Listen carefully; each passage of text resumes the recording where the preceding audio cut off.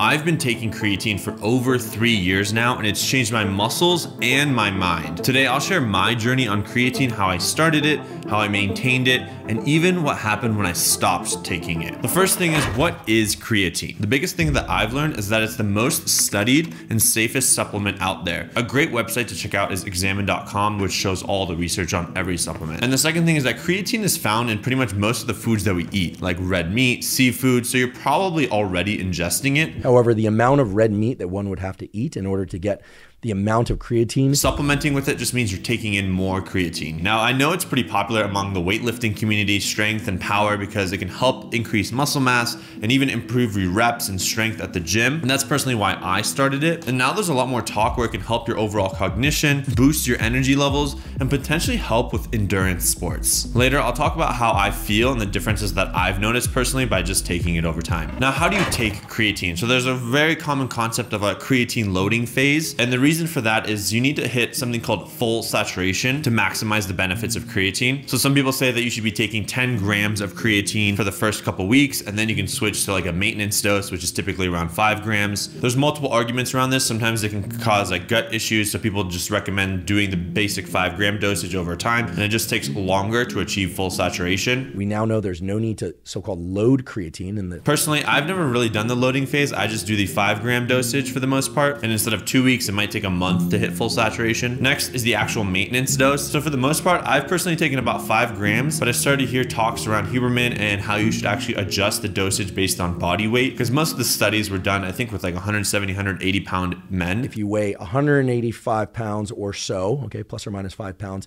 out to about 250 pounds, 10 to 15 grams of creatine per day is probably more appropriate for you than is five grams. And if you're somebody who weighs, you know, 180 pounds down to say 130 pounds, five grams of creatine per day is probably sufficient. And since I'm a bit larger in the 200 plus range, I was like, let's increase the dosage. So there was a time period, maybe a couple months, where I was actually taking 10 grams as my maintenance dose just to see what would happen. Some do recommend taking actually less. So if you are a smaller body weight, maybe you can get away with a 2.5 gram dosage versus the 5 gram maintenance dosage. So that is kind of up to experimentation, run some calculations on your body weight, try different things, see how your stomach feels, see how your body feels, and adjust accordingly. And know that you're also getting it from your diet. So that 5, 10 gram dosage of supplement supplementation could also be based on how much red meat and seafood you're also having. So someone who's maybe vegan and doesn't eat those foods is going to have less creatine in their diet, and thus supplementation is actually going to create a bigger impact on them. A big thing with taking creatine is also adherence to actually taking it. You want to stay consistent. I know some people say don't take it with caffeine, like it could cause upset stomach, but for me, it's like make sure you take it every day. If if the only time is in the morning and you need to put it in your cup of coffee, it's better than not because you want to maintain your daily dose. Really doesn't matter when you take that creatine. You could take it post workout, as many people do.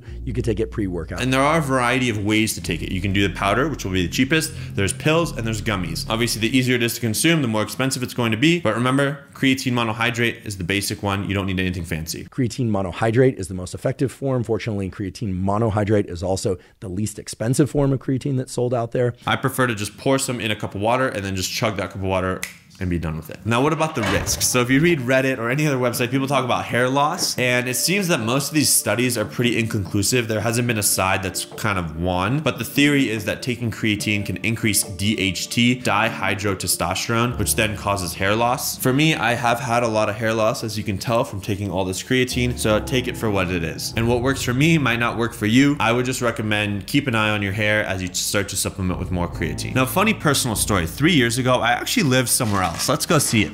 So a thousand days ago, I used to work right there and live right there. And that's pretty much where my YouTube journey started. And my first roommate was actually Brian Yo. right here. Ah, Brian and I wearing all black outfits.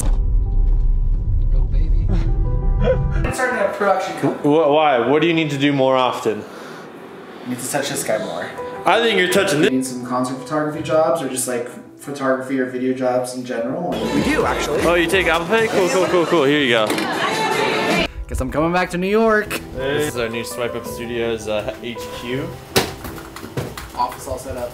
Brian has helped me film my videos since I had like a thousand subscribers, and I wanted to give back to him, so I called in my friends at Momentous. I'm, I'm like speechless now. Thank you, Momentous, for sponsoring this video. Now, whenever I buy supplements, I always buy them from Momentous because I know they have some of the highest quality supplements, and every production match is double third party certified by NSF Sport and Informed Sport. So I know if you're a competitive athlete, it's guaranteed banned substance free. For me, I've noticed cognitive and athletic performance improvements because of creatine, and Momentous provides an easy way to either buy it once or be on a monthly subscription for an effortless experience. Not only that, it's also expert verified. Dr. Andy Galpin, who I actually met once, said it's actually absurd how effective creatine is, and I couldn't agree more. So I want to thank Momentous for helping make this happen. And if you do plan to buy creatine or any kind of supplement, go click the link in my description. Use code Shervin for a 15% discount. It all helps support the channel. Wait, is this like really mine?